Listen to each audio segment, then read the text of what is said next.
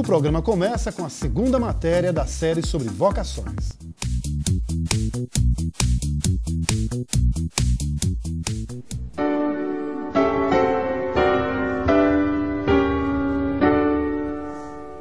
Ter vocação não é somente uma escolha. Para a igreja é um dom, um sinal divino. Ao optar pela vida religiosa, não existe um vestibular ou teste específico que analise o jovem. Quando decide ser padre ou freira, ele procura a igreja e relata sua decisão.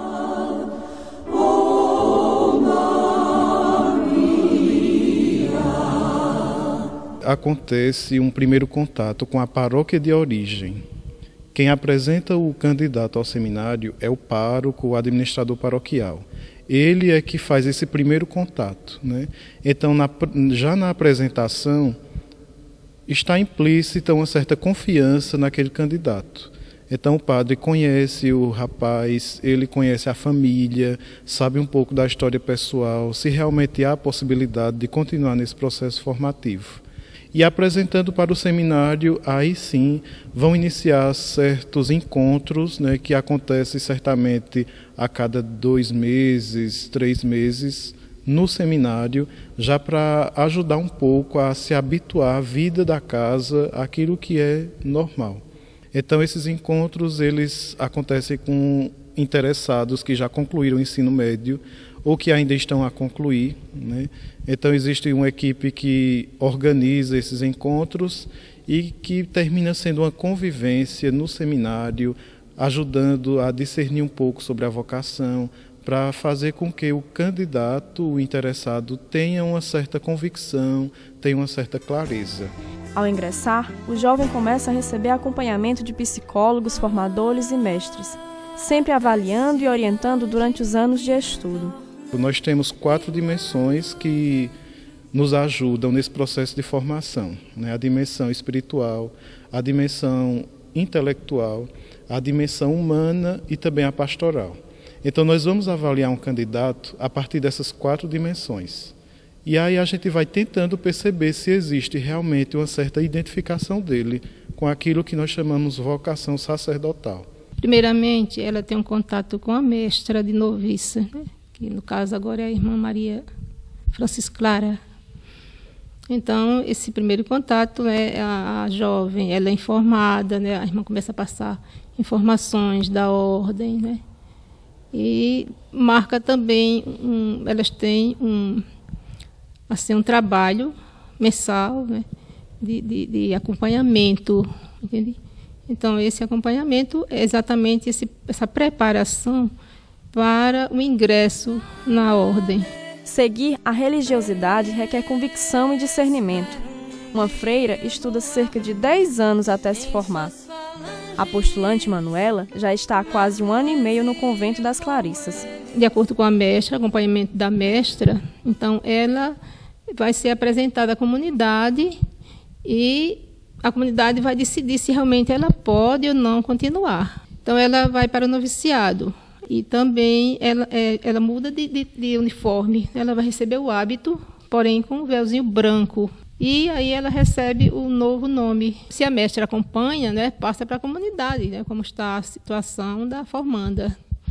Então, se ela estiver apta para a profissão temporária, então chegará a vez né, dela fazer a profissão temporária. São seis anos de votos temporários. Terminando essa segunda etapa de formação, então ela Aí a comunidade vai ver se realmente ela tem condições, está em condições de fazer a profissão definitiva na ordem. A decisão de seguir a vida religiosa pode surgir quando se participa de atividades da igreja, da catequese, ajudando a comunidade. Eu comecei nessa caminhada, nessa descoberta vocacional por volta dos 14 anos de idade, um retiro para jovens no período de carnaval o padre que foi celebrar no retiro, ele fez o convite para o encontro vocacional. E eu, por curiosidade, quis participar e daí iniciei uma caminhada. Eu fui sentindo um desejo de servir de uma forma mais, mais radical, digamos assim. Não só em dias determinados, não só por um período do tempo, mas com toda a minha vida. Quando o jovem busca servir a Deus, nem sempre recebe o apoio necessário para a vocação religiosa. Então é sempre muito difícil para a família, para os amigos, para quem convive com você aceitar isso, né? Eu sou filha única, então para minha mãe isso foi um baque horrível e também para os meus demais familiares. Essa decisão envolve não somente o aspirante, mas também toda a comunidade que ele servirá. Antes de ingressar no sacerdócio ou no convento, o jovem precisa ter clareza se realmente é uma vocação e também quais são as opções que existem dentro da própria igreja né, para alguém que tem o desejo de se dedicar um pouco mais de modo intenso. O mais importante é ter em mente que não é a única forma de servir a Deus através do sacerdócio, como padre, mas há outras formas também de servi-lo, que também é vocação.